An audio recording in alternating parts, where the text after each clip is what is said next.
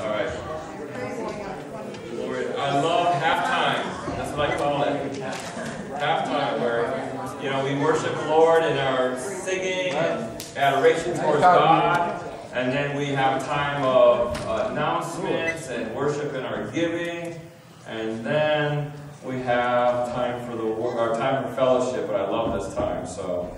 I just want to invite you, if you haven't uh, signed up or you haven't uh, uh, become a member of our church yet, you'd like to find out more about that, right afterwards we're having lunch, sandwiches and chips and drinks and stuff like that. And uh, we'd love to have you be part of that after service. Praise the Lord. Is God good? Amen. Amen. All the time? God is good? Yeah. Hallelujah. Oh my goodness. I had a good week. Everybody have a good week? You're, um, you know, some of you haven't had a good week. I, how many had a good, I had a good week, you know. I mean, like, I had a good week. Met with some people, talked. I played around the golf this week, so hey, you know. My back didn't even bother me during it, so that was pretty good. It was a good, good time. But, um, what am I looking for? What is that guy look up confused up there? But I'm, I'm so excited about what God's doing, and um, I, I think I'm excited what God's doing in my life. Amen. I'm like, I'm like, God's like, I'm praying for the church, I'm praying for our city, I'm praying for the lost, I'm praying for just people that have needs, and I'm thinking, God, you are so amazing, you know, because I know He hears all my prayers, amen? And He hears, and I know He's going to answer them. And I just have to have faith to believe that He's going to do that. You know, we've been studying over the last few weeks one another verses, right? And so the first two weeks we talked in our series was love one another. How many love one another right in this room, right? I love you, brother. I love you. I love you. I love you. I love you. I love you guys. I love you. And uh, God says that love will grow so much that the world will be jealous of us, and they'll see us, and they'll want to be they want to be Christians too. Can you imagine that we love each other so much that the world will be drawn to Jesus? That's pretty cool. So that means I might have to change my ways and my thinking a little bit so I can love everybody just like I love my wife. Amen? Or I love Jesus, I mean. But uh, I love that girl right there. Amen? And then uh, I preached, uh, after Pastor Andrew, I preached on that. We preached on comfort, comfort one another, right? What that entails a lot of maybe actually doing something, right? Not just saying I love you, but actually maybe providing and uh, maybe taking care of somebody, and that's a, huge one. And then uh, Pastor Andrew preached last week on encourage one another. Right? You can do it. Run the race till the end. Amen. Run the race till Jesus comes back. Run the race until you receive the prize. Right? Because everybody here, I hope, will receive the prize of being with Jesus for eternity. Amen. And on that race, whoo, sometimes it get a little tiring. Amen. Sometimes it gets exhausting. Sometimes I'm just like, man, I just want to sit on the sidelines for a minute. Kurt came to church here, man. Like Kurt, yeah, Kurt got this. I'm just going to hang out over here for a while, let you guys. But no, I'm going to continue to run the race with you because I know the prize is amazing. Stand before Jesus one day and just sing praises to Him. Amen. Amen. Then we have a glorious time. I can't wait. Do you anticipate that at all, or is your mind so full of the stuff going on in the world you can't even think about that? Right? Pretty much, Jason. I'm, I'm so, my mind's so, so in battle with all the stuff that are going on in the world. I just love coming on Sunday morning because we can just set that aside for a moment. Jason, just take it. Put it in the chair next to you. I just want Jesus to come back already. All right, amen. And uh, we get to, to, be with Him, hallelujah, and just say, God, oh, maybe that's a prayer for right now. Can we just pray? Can I pray that over you right now? Father, we come to you in the name of Jesus. I thank you, Lord, for this moment that I was able to share your word with our family here today. And Father, as our mind is so full of the things of the world and finances and relationships and this need and that need, God, I pray for this moment. Would you just clear our minds and our hearts to receive from you? Yes, Holy Spirit, just bring peace over this congregation, Lord, as we open up our hearts to receive from you today. Father, I thank you for that in Jesus' name. Amen. Amen. Amen. So today, I'm, I'm, gonna I'm gonna hit one of those. You ever get to subjects where you say, "Well, I like to talk about love. I like to talk about giving. I like to talk about sharing. I love to talk about encouragement." Today, I'm talking about a subject that needs to be talked about. Amen. I'm talking about a subject today that, my God, if we can get this right, man, forgiveness will flow through this place and through the, the city and through the world. Amen. We're talking about we should forgive one another this morning. Will you turn to your Bibles to Ephesians chapter 4? It's a verse I started off with a couple weeks ago. I'm not going to read the whole chapter 4 today. I'm just going to read one verse.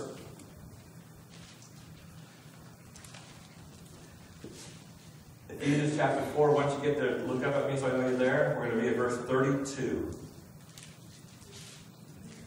Chapter 4, last verse in chapter 4, right before chapter 5.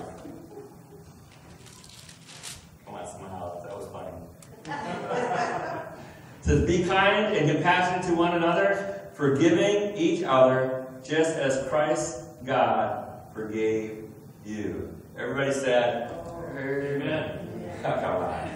All right, let me let me start over again. Let me just read it. Okay, I'm just gonna start over again. Let me just get a response from you here. It says, "Be kind and compassionate to one another, forgiving each other, just as Christ, God, forgave you."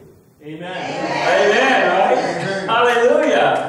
Wait, I don't I don't feel forgiven at this moment, but I'm telling you, Christ forgave you of your sins. I remember the day that I said yes to Jesus my God took all my sins away in that moment. He erased every sin away in my life. Right before my mind's eye, I could see all my sins. I tell, most of you know the story, but I wrote it on, it was like it was written on a whiteboard before whiteboards were popular. Anyway, maybe it was a chalkboard, but I don't know. It looked like a whiteboard. Anyway, it was all my sins, right? And as I realized all the stuff I did, I was only 19 years old at the time, I was not a very good person. And at that moment, I said yes to Jesus, and it was like he took one of those erasers right? And all my sins were gone. I was clean. I was like a new baby. The, my, the breath that I breathed was better. The, the sunlight coming through the window looked brighter. My whole life changed in that very moment. God forgave me on my sins. Can you say praise the Lord? Praise Amen. Do you remember that day when you said yes to Jesus? If you haven't did that, we're going to do that today. Man, you got to realize that Jesus says, yes, I'm going to take all your sins away. Matter of fact, in Hebrews, it says 922 says there's no forgiveness without the shedding of blood. Jesus' blood was shed for you and me so we could be totally forgiven of all our sins. Amen. Does that bring joy to heart? I want to dance like like uh, Isabella was dancing this morning right now because I'm forgiven. I was forgiven much. And even since that day, as I tripped and I fell through my relationship with Jesus, I just called on the name of the Lord. He forgave me. Amen. When my character wasn't like God's character, maybe I didn't think the way I should be thinking, or maybe I said or did something I shouldn't do, the Lord God forgave me. Amen. He took all that guilt. Matter of fact, you know what's so amazing about God? He takes the guilt of the sin away. Uh, that's how you're free, right? The bondages of my sin is just broken. Yes, Lord, I'm forgiven. Yes, Lord, I'm free. Hallelujah. It's hard to believe that God provided salvation or forgiveness of my sin through his son Jesus. Do you ever think about that? We're so busy in our day, we're so busy, and what brings us all together today is because of Jesus, right? What, how do we gather together? The joy that fills my heart more than anything I mean, oh, I would love to have all the finances in the church. I'd be real. I'd do a jig, jig that too, right? And, I, and, and, the church would be full of people, and there'd be ministries, and everybody would be really. That would give joy to my heart. But the greatest joy for me, I was sitting in my office today, just going through the sermon and going, "Wow, you know, I've just been forgiven a lot."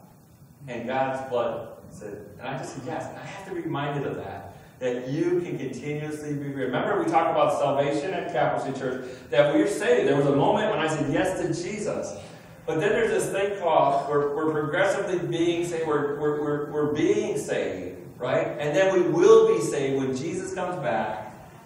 Amen. And we're going to be with him forever. Just like Pastor Andrew said earlier, we're going to be around the throne with all the elders worshiping Jesus, saying, Holy, holy, holy is Lord God Almighty. And all the things that we've earned or ever did for Him, we're going to cast at His feet because if it wasn't for Him, we wouldn't have what we have today. There's no peace in my life without Jesus. There's no hope in my life without Jesus. Jesus did it all for me. Amen? I can say, He did. Oh, I won't start singing, but anyway. Hallelujah. Jesus forgave me of so much. I'm so man, I'm just happy inside. Amen. Anyone, can you just smile for a moment, pretend you're happy inside? Amen. Yeah. Jesus did it for us. Hallelujah. He did it for you and me. He says in the verse today, and the reason I say that because it's hard to forgive others unless you understand what he, you've been forgiven of. Amen. And it says here in this verse that we should forgive everyone just as Christ has forgiven us. I think about this. Forgive when I have a problem with forgiveness, or I should say unforgiveness. It, it, it reminds me of a story we were sharing on Wednesday night about gardening. How many like to garden here? Everybody likes to garden, right? And you, do you know if you have a really, our garden this year was horrible. All right, we had, I planted some tomatoes. Uh, if you want a nice garden, go see Rajin and Hempsel's garden. They did an awesome job in their garden. yeah, and they produce a lot of fruit out of that thing, right? But my garden, I just kind of threw some tomato plants in there. We got, we went, we went down to North Carolina and, and helped my dad for about a month, and then came back, and like, we got to get the garden in. We kind of threw them together, and then, you know, maybe two or three weeks later, I realized that Maybe we should go out there and weed the garden, right? Because the weeds were taking over. I don't know how we got fruit out of that garden, but we did get some. God blessed us anyway, amen? So we got these nice tomatoes, heirloom tomatoes. They're so tasty and wonderful. I said, wow, God, you just blessed me even in my, my, my lack of gardening. But anyway, one thing I don't like about gardening is I love planting I love that initial getting the mulch down and getting the garden set in and all that, but I hate maintaining the garden. Anybody I hate maintaining the garden? But you know, I just remember, oh yeah, there's a garden outside. I better go take care of it. I didn't water my garden until September. So that's, you know what I'm saying? It was like, Maybe we will save some of these tomato plants that we did, you know. But one thing I hate is weeding the garden. You ever like weeding? So, and then one thing I hate is thistle bushes, or what do you call them? Sticker bushes, we used to call those kids, right? Thistles, right? And this, the reason I don't like them is just like we get them, we get them here along the church, this this side, wherever it's going. Not on this side so much, but on this side of the church, we get these thistle bushes. And I read them all the time because I hate them so much. They're evil. Because in, in, Genesis, they were part of the curse, right? Thistle bushes. You look at Genesis chapter 2. So I'm like, we're saved and we're redeemed. Get out of my God. Get out. You know, I'm just like, get out of here, you know? In the name of Jesus, you got to get out of here. I'm blessed now. Child of God. But you know something about a thistle bush? If you don't get every bit of the root, you can dig all the way down, but if one little piece of that root is left in the ground, guess what's going to happen? It's going to come right back up, and you're going to get thistles again. A week later, there's thistles out there. I, mean, I was careful. when I go out there, I'm careful. I get way down. I got gloves too. I got leather gloves, so I can get right down to the bottom of the root, get the dirt down, and I pull it straight as I can. You need a shovel. I need a shovel. I need a volunteer. That's what I need. Anyway, because uh, I'm not good at this. But anyway, so I pulled it this and I get, and the root is this long. I mean, you know what I'm saying? The plant's this big and the root's this big, but I thought, hey, I got that one. And a week later, two weeks later, all of a a little bitty thistle bush grows right back up there. I said, this is crazy. And I wait till it gets a little bit bigger so I can grab it bigger, and I grab straight up because I don't want to break it off because I know you should. And there, I never get it right. I, oh, it just drives me crazy, these thistle bushes part of the curse, I guess.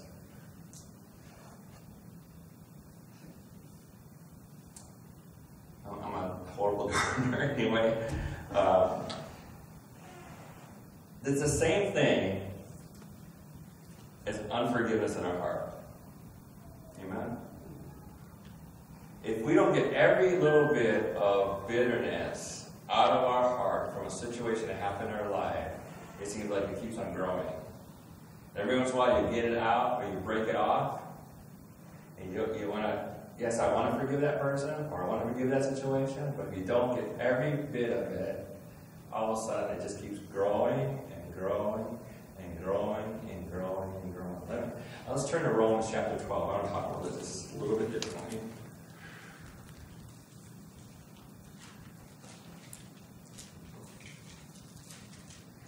Romans chapter 12, verse 1. And I was thinking about maybe I go through the whole chapter 11, but I won't do that because you know, I, when I always tell you, when you read a scripture verse, you always got to read the verses before and the verses after, right? So you can go understand what they mean. But in this situation, we're just going to read, therefore, all things before, I urge you, brothers and sisters, in view of God's mercy, to offer your bodies as living sacrifices, holy and pleasing to God. How many want to have their body is holy and pleasing to God? Amen. Everything about your mind, your heart, your soul, your big toe, everything, I'm giving it over to you, God. All of my life, all of my ways to you, God. This is your spiritual act of worship. Some scripture said this is your reasonable act of worship. Your reasonable act of worship to give all your life over to Jesus, just like He gave His full life on the cross for you and me. Amen? And Jesus is just asking you to do the same thing. Can you say amen? amen? God, all of me is yours. Whatever you want to do, God. All my will, all my ways, all my future, whatever I have from this moment forward, God, use me. That's what this means. Right? How many, how many prayed that prayer before? God, whatever you want, I surrender all. All to Jesus I give. Amen. You, Lord, whatever you want me to do, wherever you want me to go. This is what Tina and I said. We prayed this really early in our life. We were about 19, 20, 20 years old, I think, about then when we said we were kind of figured like we are called into ministry. We were called into doing greater things, just showing up to church on Sunday. We knew that God had something else for us. And back then, we prayed together, God, whatever you want us to, wherever you want us to go, we'll just do it. Amen? And that's how our heart is. But that takes of different thinking, right? But look at verse 2. This is what we're discussing today. Do not conform any longer to the patterns of this world, but be transformed by the renewing of your mind. Then you will be able to test and prove what God's will is, His good and pleasing and perfect will. How many want to be in the perfect will of God? Say, yes, I want to know exactly what God wants me to do, and God wants you to know what He wants you to do. Amen? There's no, He's not hiding it. God's not a God that is now in the temple and now only through the priest that you go to the, into the inner court with God. And only the priest once or twice a year could go in and see, go into the Holy of Holies. Right now, because of what Jesus did on the cross, we can enter into His presence now. And not only will the, the, the Lord gave us uh, apostles and prophets and pastors and teachers, and evangelists to help the church grow and mature, He said, I'm going to talk to you directly. Because you're covered by the blood of Jesus. Now I want to talk to David. David, you can hear the voice of God. You can know what God wants for you. Amen? Because God wants to know that. But I, I want to concentrate just for a moment about this uh, unforgiveness or forgiving one another because we have to change our thinking. All right, we can't think like the world. When somebody hurt us or we've been hurt by a situation in our life, something that's holding us back from being in the fullness of God, we need to be able to understand. We have to transform our mind, our thinking, on how we handle those situations. Isn't that what it says right here? Do not be conformed to any longer to the world, but to, uh, to the patterns of this world. So we can say the world handles unforgiveness and hatred and hurt one way, and Jesus handles it a different way. Can we say amen to that? So the world says, if you hurt me, I'm going to get you back. Right? If you did something to me, I'm getting revenge. I'm going I'm to get you because you did this to me. That's what the world says. Matter of fact, you, they owe you something because they hurt you.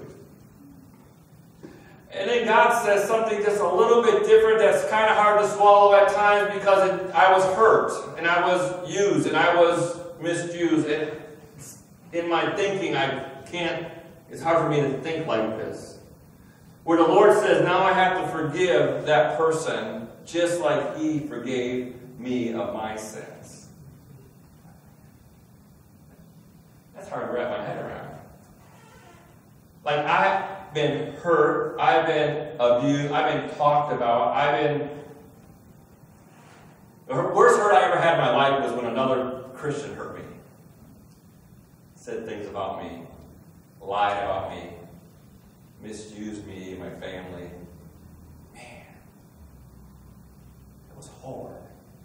Because I knew what the scripture said, but inside me was this pain and this hurt and this meanness or whatever you, you know, I'm not perfect, as probably some of you already know. But, you know, I mean, I had that in me. And I, just, I, and I knew as I every time I now pray for anything, even when I prayed over my food, the first thing was that thought about that situation. I couldn't even pray over my dinner. Couldn't even pray over my kids at night. I couldn't pray over my wife. It was just all the time. This was in my heart, in my mind. I knew I had to change the way I thought about it, but I couldn't get rid of it.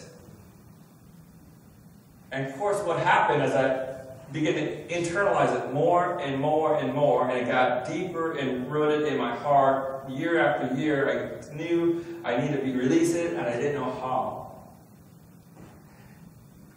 And I and the thinking of the world like, man, I, man, I, I deserve to be mad at those people. I mean, they did stuff to me, not only me, but to my family, right? I'm like, this is, I have a right to be mad. That's what I thought. I kept on, you know, struggling with the word and struggling with my heart. Anybody like that? Just, just me? All right, just me. But you know, I'm, I'm trying. I just didn't know it was just me. If it is, then I'm just a sermon for me today. I needed it, right? You know. And uh, so I just like I was like, okay, God. I was I was. This is what happened. So I'm meeting with three or four pastors. We're meeting at a McDonald's, talk, having a cup of coffee, just talking about ministry and life. And I said to them, I'm having, I'm having a problem. And the Holy Spirit was telling me, say something to them, right? So you have to be obedient to the Holy Spirit. Amen. You know what I'm saying? When the Holy Spirit speaks to you and you know you got to do something, like you got to ask your wife to forgive you because you got mad at her and you really didn't mean to be mad at her. And the Holy Spirit says, come on, go say you're sorry. You're like, okay, God, I'm sorry, honey. All right? You know what I'm saying? Anybody don't understand what I'm saying? So, okay. So I I said the Holy Spirit is on me, in me, like around me, like I was walking with the Spirit of God. And he says, you need to tell them so I tell my friend, I said, hey, you know, I'm just struggling with the situation in my life. Can I tell you about it? And he goes, oh, yeah. And they're like, all three of them. like, yeah, what's going on? And uh, one, one of the pastors says, did you forgive them? I said, absolutely. I'm a great Christian. I forgave them. I, I mean, I said it about a million times. But I, this is what really got me. He says to me, in love, he says, does he know you forgave them? Like, what did you say that for? I mean, like, that's what my words were. I mean, McDonald's, I'm just loud too, because, you know, I'm like, I like being loud, I guess. Why did you say that? The whole McDonald's stops. The cooks, the cashiers, yeah, right. they're like, yeah, this like silent. I'm like, oops. um, I'm like, why did you say that? I don't know if he knows or not. I mean, it's been a couple of years now, right? I figured you don't need to know. I just need to ask God, please forgive me. Like, I'll be forgiven. And no, the Holy Spirit says, no. And he says, you need to call. So as soon as I got to the office, I love the internet and I hate it too because it gives you all the information you need. I typed in his name and guess what? His phone number got right there on the screen. It was the same phone number that was five years old. Yeah. And uh, so I had to call the number, right? I called the number, and he just kind of like made like it was nothing to him, right? Because it wasn't about him, it was about me. It was about me holding. I've been trying to uproot that thing, uproot that thing, let go of it, let go of it. Until I confessed it, the Holy Spirit was to give me the, the power to, to just say, you know, uh, will you forgive me? And he's like, eh, whatever. You know, he didn't make, you know, it was like no big deal to him. And I'm like, I went through all this, and you're just like, no, but it wasn't about him, it was about me, right? Because I was released from that. The chains of that that was binding me from enjoying the presence of God and praying over my family, praying over my church, right? Praying over you guys, right? It just broke off of me, and my life was different. God dug way down. He got the little itty bitty piece of wood that was left inside my heart and took it away. And now I was free. Amen. Now I can pray for them and I can pray for everybody, and I don't even have to, have to worry about those things anymore. Does anybody have that? Anybody can associate with that? There's freedom when we forgive. Let's look at Colossians chapter 3.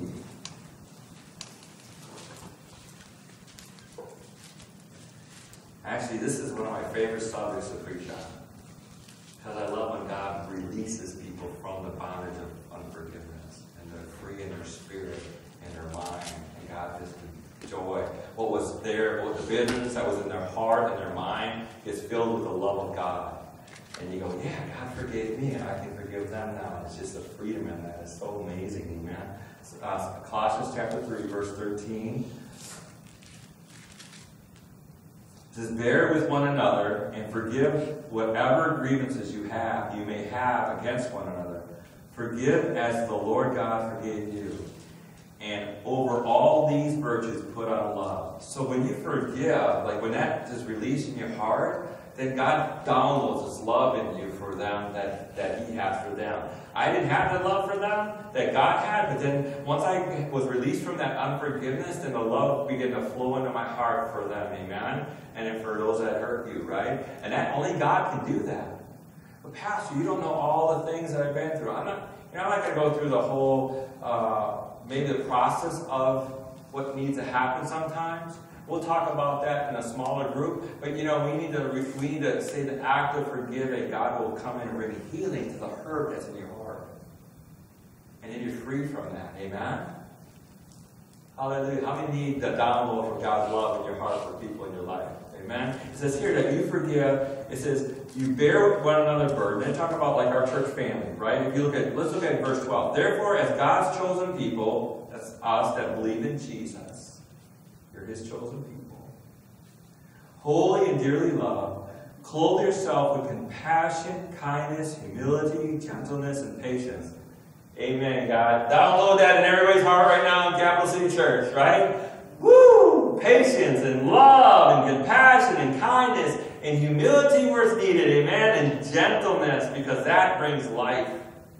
Amen. And then, then it says, bear with one another and forgive one another. How many's ever been uh, uh, offended by me? Don't raise your hands hard. You? How many's been offended by a brother or sister, maybe just in this building, right?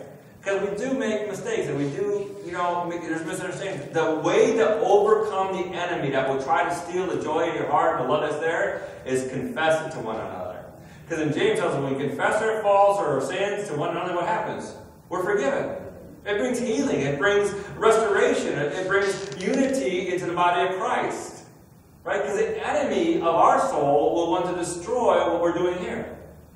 Amen? And will try to split us up by saying, Do you know what he said? Do you know what she said? Do you know what happened to me? You know what This is one time, I remember this. I was uh, in, in North Carolina. I had a, on Wednesday night, we had a little bus. And could, uh, we had a, uh, air, uh, excuse me, we had an area in town that we ministered in every Saturday.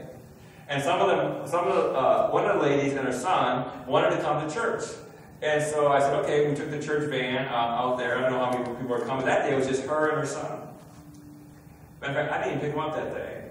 I took them home. Sorry about that. They got to church, and I walked right past them, and she got offended that I didn't stop and say hi. And I was just really busy that night. I didn't mean to not say hi to her, but you know what was so beautiful about that? I, I was able to take them home because I drove the van uh, take them home that night. And I drove them home, and before she got off the, the van, out of the van, she says to me, I want you to know that you hurt me today. I said, What did I do? And she told me about the incident. And you know what I did? I thanked her for saying something right away. She didn't harbor that in her heart. She didn't go home and stew on it for another week, right? And next Saturday, if I saw her on, a, on, on in the, when we were doing street ministry, she would probably would have ignored me, right? But she said something there. I said, thank you for sharing with me that moment. We, we defeated the enemy. I prayed for her. It was just a great moment. Blessed her son. Off they went. And we had this wonderful relationship until we left to come here. But anyway, it was just, every time, she could have just kept on going, right? She could have just went home. Man, I can't believe Pastor Bob didn't say hi to me. I don't, you know, I don't know what the enemy will just throw in your head over all these negative things, all these bad things, and what it does, it causes division. Amen. Enemy always causes division. Christ and the Holy Spirit always bring unity. Amen. And that's because that, and then we have to practice loving one another, caring for one another, and forgiving one another. We do offend each other. Amen. I want to go back to the as I finish up today. I want to go back and remind you what happened in Genesis chapter three. Can we turn there together? I want to show you this. Our loving Heavenly Father, who cares so much about you and me, who loves every aspect of our lives, who cares if we, we have joy and peace in our heart, who had to, uh, if you will, there was a law, and then the, the you know, Adam and Eve kind of messed up, didn't they? They disobeyed God, they ate of the tree, their eyes were open, they knew what good and evil was. But I want to, our God is in that moment when sin entered the world through Adam, sin was also taken care of by the second Adam, which was Jesus. But I want to show you this verse. This is one of my favorite verses in the whole Bible because it shows the compassion of our Heavenly Father to forgive, want to forgive mankind. and you and me today. Verse 21, chapter 3, verse 21. The Lord God made garments of skin for Adam and his wife and clothed them. Favorite verses in the Bible. After, right before that, he said he had an angel. They kicked him out of, out of Garden of Eden. They put an angel there to guard the gate so they couldn't go back in. They were afraid they, would, they ate of the tree of life. They lived in sin for, uh, forever. God removed them from the garden, put an angel there to guard the garden. And then he made, says he made, how did he make clothes? How did God make the clothes for Adam and Eve here? I believe this, this is Pastor Bob's version of the story, so this is not, you know, uh, mean, some people kind of agree with me on this, but I want to do some research. But I believe God took a lamb that represented his son and sacrificed that lamb, skinned it, took that cloth, that lamb skin, and made a, a garment for, for the man and the woman, which represented the sacrifice was going to happen. Jesus Christ was going to come and die for the sins of the whole world. Because God loves to forgive. God loves to forgive our sin. He wants to forgive you. He loves us that much. Amen. His love is so amazing that even in the very beginning, there, there was going to have to be a sacrifice. And he made that. And, was, and then when Jesus came, that sacrifice was done once and for all. All we have to do is believe that sacrifice. Jesus Christ's blood was shed for you and me. Now we're clothed with righteousness, not of our own righteousness, but because of what Jesus did for us. Even though we think we're sinners, we're not good. We're righteous in God's eyes if we believe Him. Amen. If we just forgive. Matthew 6 14. Let's, let's turn that. I just one more verse, one more verse. Matthew 6 14. Most of you might know this section. It's the, the, the prayer that Jesus taught his disciples. They call it the Lord's Prayer. Right? You know this? We've known this from I grew up in a Catholic church. We used to say this every service. And, and, a lot of churches say it, you know, Our Father in heaven, hallowed be thy name, your kingdom come, your will be done, on earth as in heaven. Give us today our daily bread. Forgive us our debts as we forgive those, uh, forgive our debtors. And lead us not into temptation, deliver us from evil. So we need to forgive. God's in this prayer, Jesus teaching his disciples that you need to forgive those that have debt against you. If something's been wronged or owed, and you just need to forgive because God forgave you. Amen? Good preaching, Pastor Bob. This is hard stuff. It's hard to forgive when we're wronged. But God says, but look what the next part of this verse or this prayer says this, verse 14. For if you forgive men when they sin against you, your heavenly Father will also forgive you. But if you do not forgive men their sin, your heavenly Father will not forgive your sin. How much power is in forgiveness? It's the very heart of God.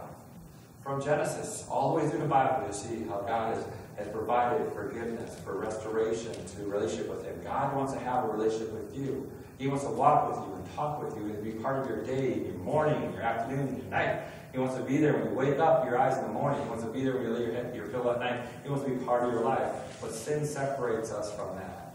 And I don't know about you, but I think forgiveness or unforgiveness is so one of the hardest things to get rid of.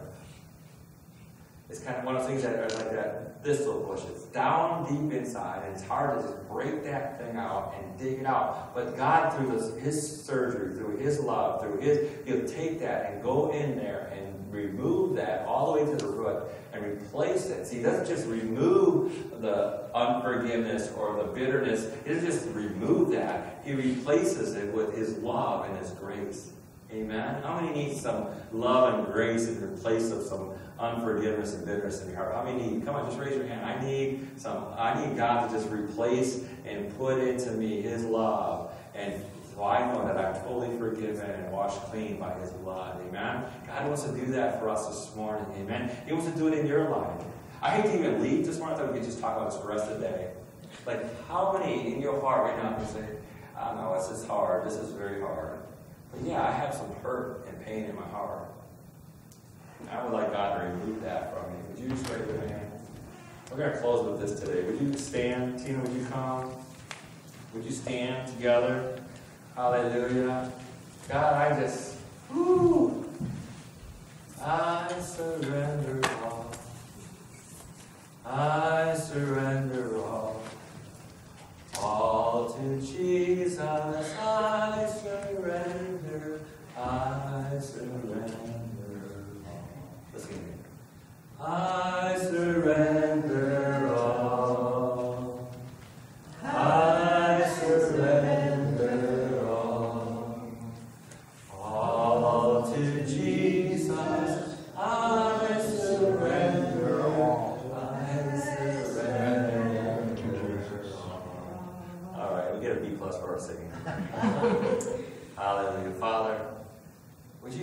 right now? Everybody just close their eyes, nobody looking around.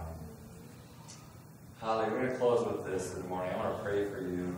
And if you need help with this, and we're going to have Pastor Andrew come up here and, and Tina, and we're going to pray. We're going to pray for you that just be released from whatever's in your heart. But would you just raise your hand and say, Yes, Pastor, I need to forgive my brothers and sisters. I need to forgive those that hurt me in my life. If that's you, would you just raise your hand right now? Raise it high. Don't be embarrassed. Hallelujah. Yes, I see one, two, three, four, five, six, seven. Anyone else? I need to get rid of this out of my life. God, the Holy Spirit right now is dealing with your heart. Man, you need to get rid of you. Release that right now. You need to love your brother. You need to forgive your brother, even though he offended you. You just raise your hand? Hallelujah. Leave your hands up. Leave your hands up. Thank you. Hallelujah. Thank you. Thank you. Father, you see you see every hand that is raised right now, God, even those that are not. Father, I pray, release the bitterness and the hurt and the pain and the sorrow. Father, we give it over to you right now. And we thank you because of Jesus we can. We thank you, Jesus, for paying the penalty of that hurt. And Father God, just like you did for Adam and Eve, you restored them. You prayed a way for them come back to have a relationship with you, God. I pray that you restore in our hearts a love that needs to be there. Hallelujah, Father. Touch them. Holy Spirit, touch them. Holy Spirit, release them right now. Hallelujah. Say, Father, I give this over to you in the name of Jesus. You fill in the blanks. Father, I give this to you in the name of Jesus. Lord Jesus, thank you for taking the penalty of that sin out of my life. Father God, we receive your love and your grace in my heart right now. And I thank you for it. I thank you, Father. Come on, I thank you, Father. Let's thank him right now together. I thank you, Father, for providing your forgiveness through Jesus. Thank you, Father God, for loving me today. Father, I give you all the glory and all the praise. Father, I pray your peace love fill the hearts of every person and every heart, every and every heart, every mind. Father, in the name of Jesus. Lord, we love you today. We give you praise and honor and glory. Hallelujah. I'm free from that bondage right now. Say it. I'm free from that bondage right now in the name of Jesus. Hallelujah. I'm free from the bondage of unforgiveness and bitterness in the name of Jesus Christ, our Lord and Savior. I'm free. I'm free. I'm free. Hallelujah. I'm free in the name of Jesus. No longer will I put that in my heart. No longer will it be in my mind. Hallelujah. In the name of Jesus, I am set free. Hallelujah. Let's give Jesus a hand. Hallelujah. Thank you, Hallelujah. You know, there's a, uh, we sang that song. Did we sing Shout to the Lord today? Did we sing that? No. Anyway, I just, this is Pastor Bob uh, wandering for a second. But you know, shouting is important in the Word of God. You know, when the walls of Jericho came down, right? Because the people were obedient to God. God says, shout. And then the seventh day they shouted, and all the walls came down and had victory over Jericho, right? How, how many want victory over their situation right now? Can we, can we shout a little bit? It's okay. It's okay. You can shout in this church. Hallelujah! Thank you,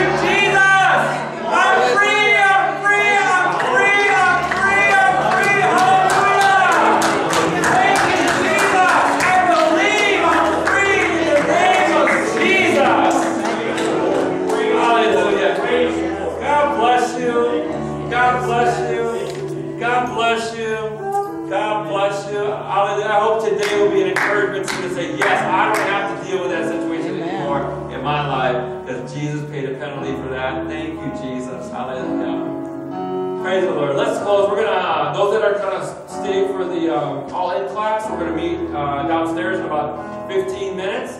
Uh, we'll get lunch and then we'll have a little class. Um,